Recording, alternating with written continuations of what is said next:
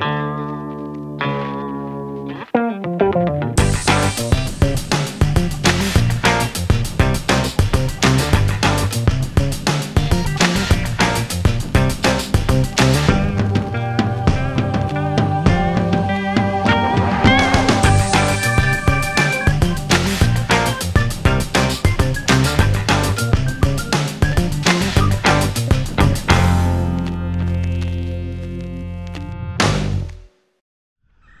What's going on guys? Welcome back. It has been a while since I've posted a video, four months to be exact, and I apologize for that, but I got a good reason. So I had set up to winter bow hunt, some land we had permission to hunt on, and we had our feeder set up, we had our stands in place, and in early fall, Vito and Pat each took a seven and 10 pointer out of so it was looking real promising for a great winter of bow hunting. But we started having trespassers messing with our stuff, messing with our feeders, messing with our stands. And we couldn't good conscience leave our stuff out there and be set up the way we like to set up for hunting in that spot. So we had to pull everything out, kind of reevaluate, check to see if there's anything we can do to kind of prevent it from happening again. So that kind of messed my plans up for, for filming this winter. And I pivoted to a project instead. So in the early part of my channel, when you saw me building the whaler, the first, I don't know, maybe five to six videos, I'm in this portable vinyl or, you know, garage. One of those, you know, you put the, you know, the, the vinyl covers over the frame and it's, you know, you can take it down, put it up when you need to. I had bought that just to keep the whaler out of the weather so I can sand and prep and leave some tools on it and not have to put everything away. One of my biggest issues has been organizing myself as far as tools and projects go. Even fishing and boating equipment. I have had stuff stored everywhere. Here's a tip for you guys. Never buy a house without a garage. Biggest mistake I made. But I built a shed in 19, but that rapidly became a gym. Uh, when they shut down the gyms during COVID, I had built a shed and that was originally going to be a workshop, but then it rapidly turned into a gym. I used it for a while during the core months of the pandemic. And then when the gyms finally opened up, I started going back to the gym regularly. It's a part of my daily ritual. I wake up every morning, I go to the gym, I work out. I try to take good care of myself so I could keep this outdoor lifestyle going forever. But then my son took the gym over, and that's pretty much his man cave, and he is in there a lot training. He is, you know, he's a competitive athlete and he wants to keep himself in top physical condition. My daughter goes in there and works out so she can keep fit to do what she loves to do. And it is really just a gym now with my fishing rod stored on the roof of it. So that left me with an old dilapidated 10 by 12 shed that I built with my brother back in like 05. It served its purpose, but I outlived it. It was small, it was stuffed, and finding things was so hard. So I needed to make an improvement, a massive improvement. So since the hunting fell by the wayside, I decided to make my winter about a project, which was one I couldn't film like I did the whaler. The Whaler was great. I could do step-by-step -step videos of everything I was doing, which really is how this channel started. I originally wanted to keep video vlogs of the progress of my Whaler for my own records. But I wound up uploading to YouTube because my phone had asked me if I wanted to.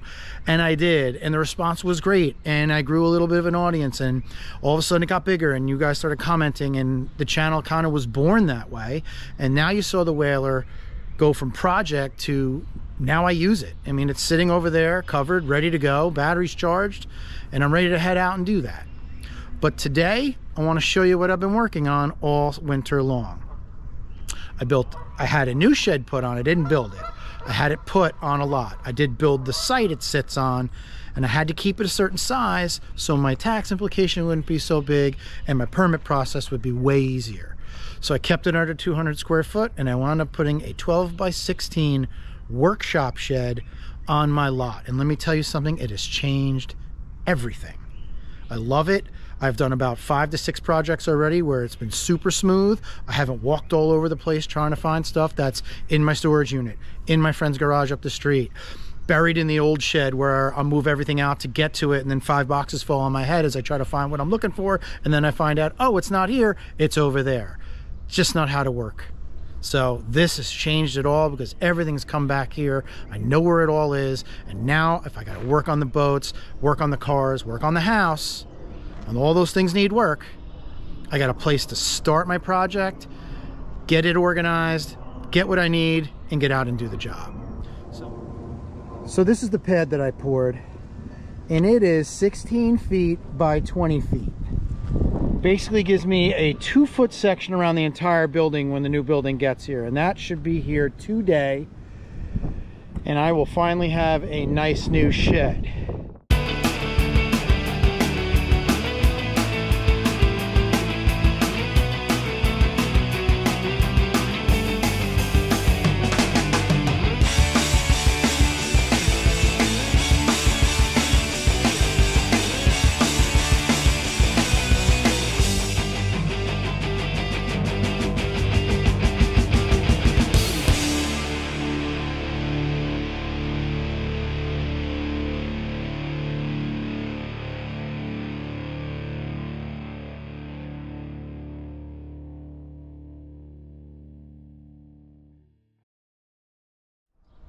Today is about three things.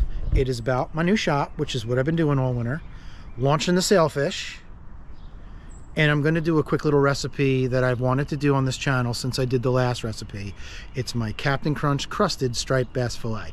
We're going to cook that up for you guys, show you how I do that to finish up this video. So basically this is a launch, clean and cook day and I'm showing you where I've been and we're back because after today the sailfish is going to be in the water the whaler's ready to go just going to wait on weather. If it ever stops raining we're going to get out and catch some fish. So let's go take a quick tour of the inside of this shed so I can show you how awesome it is to have a place to do work.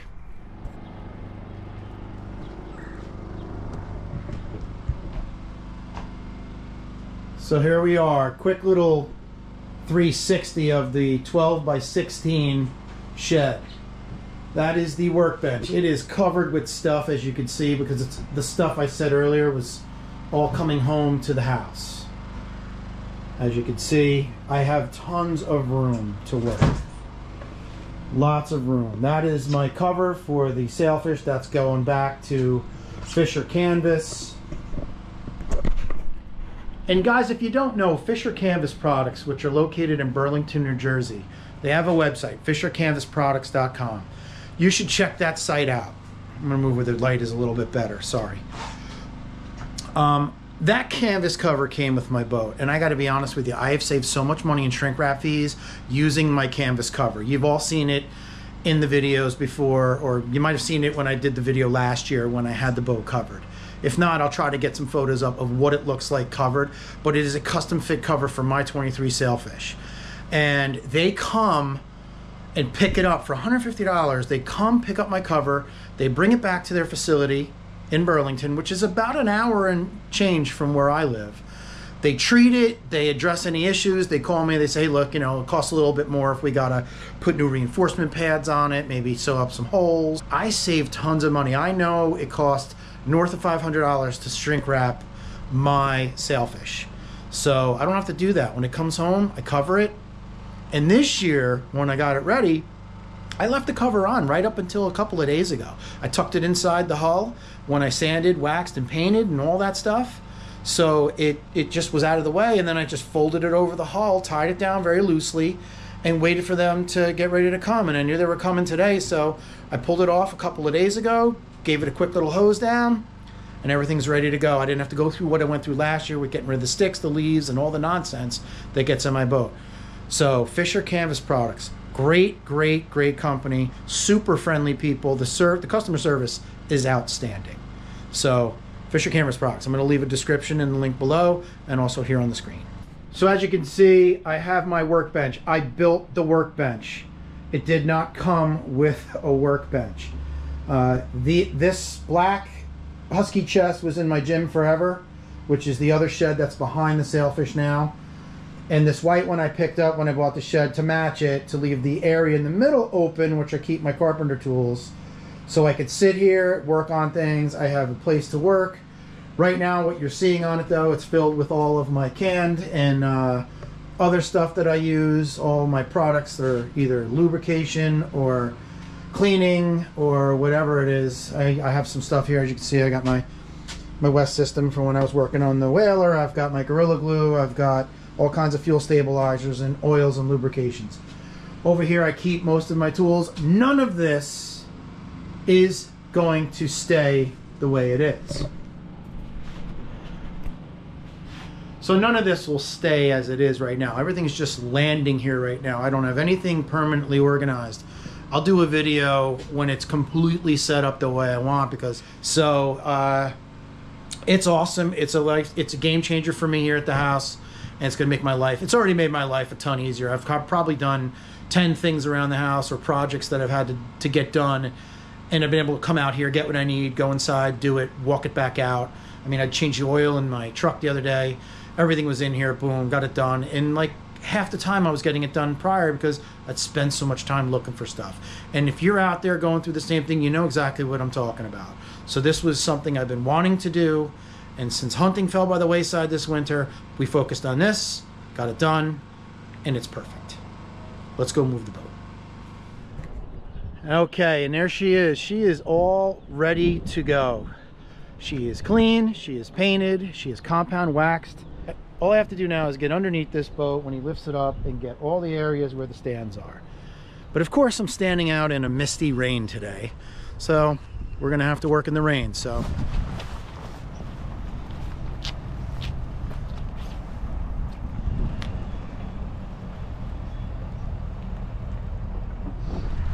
just like that, we're launched. I'll tell you, it's really, really windy out here, so this is gonna be a trick getting it in the slip. We're blowing at a, probably 20, and that always seems to be the case so here we are again. But let's see if we can get this done.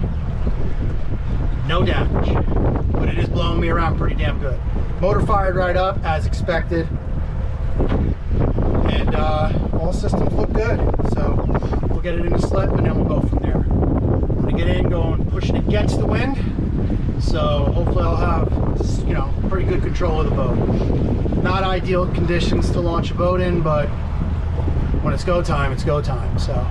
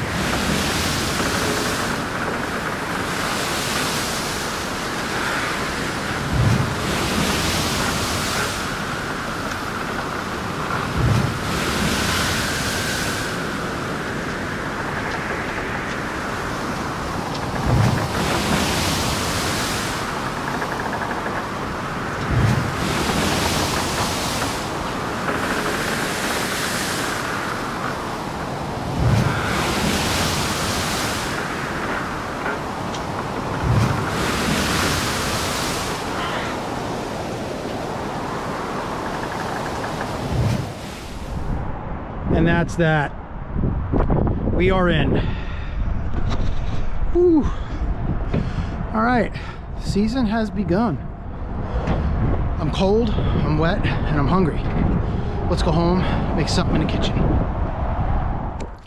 So we're back from the boat. We're in the kitchen now, and I'm gonna show you one of my favorite ways to cook striped bass.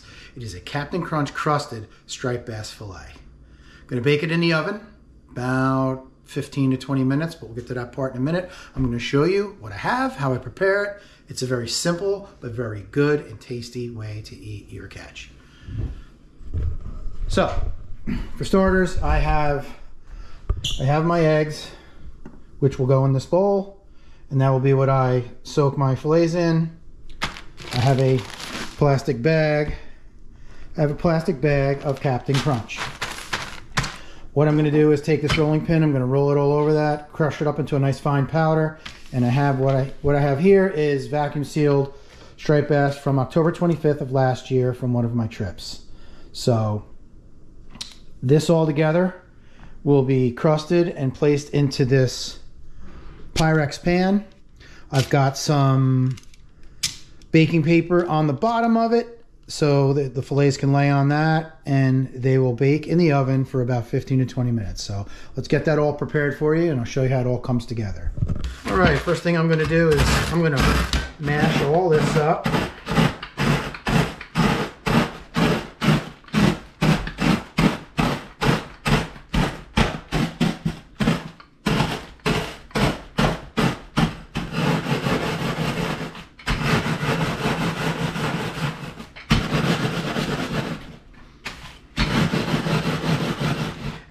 Get it nice and fine. You really don't want it chunky. You just want to kind of like a breadcrumb consistency.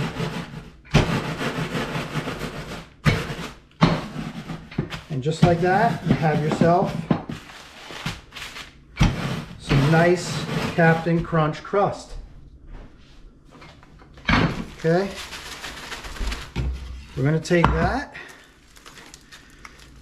and we're going to pour it. We're going to use this big white plate so we can spread it out a little bit.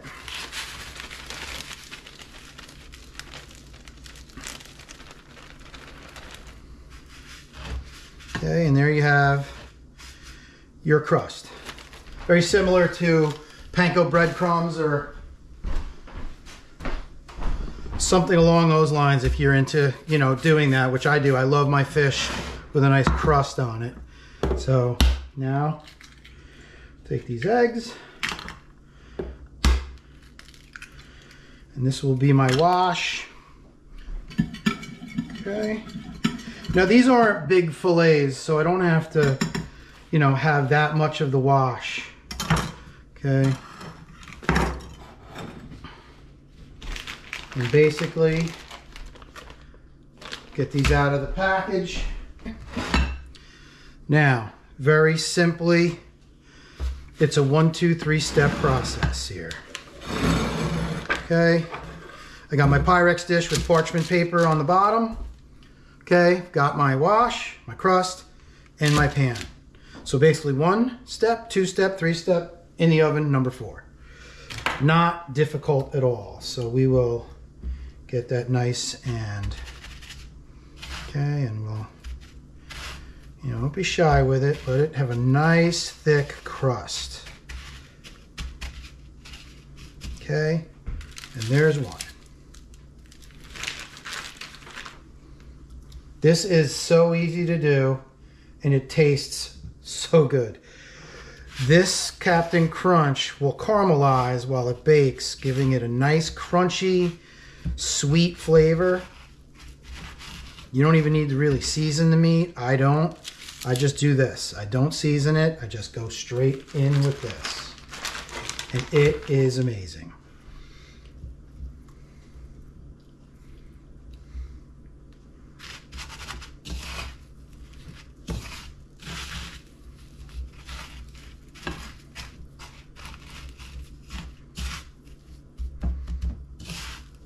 Smells good already.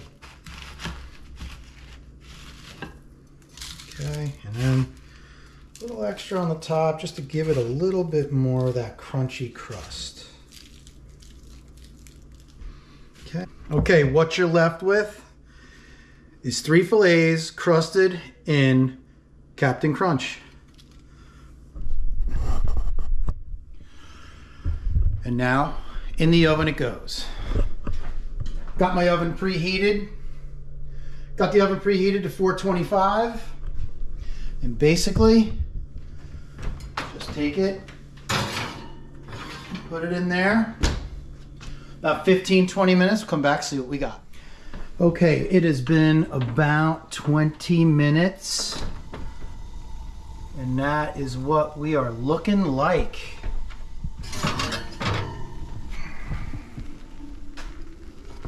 And that is what you get. And that smells as good as it looks. All right, well, I'm at the table now. We got it out of the oven, did a little quick little taste. It is really good. So I'm gonna show you a little bit of what I got here. So, so you have this nice thicker piece, which I pulled apart.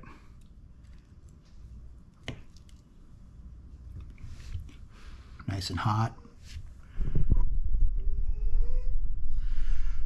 My dog's crying to go out. All right, so here goes.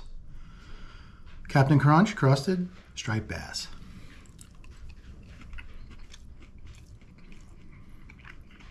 Yeah. It's everything I thought it was and more. So simple to make, so tasty. You know, if you have kids that, you know, are a little off on fish. I'm fortunate that mine are not. My daughter loves fish. My son likes it, he'll eat it. But my daughter loves it. My wife loves it. I obviously love it. Um, but when you can go out and fish, and you know, obviously you don't want to overfish. You want to, you know, catch what you should catch, and store it and take care of it. You can take out a package months later and cook up something this good. Yeah, that gets me pumped up for the season. It's been a long winter.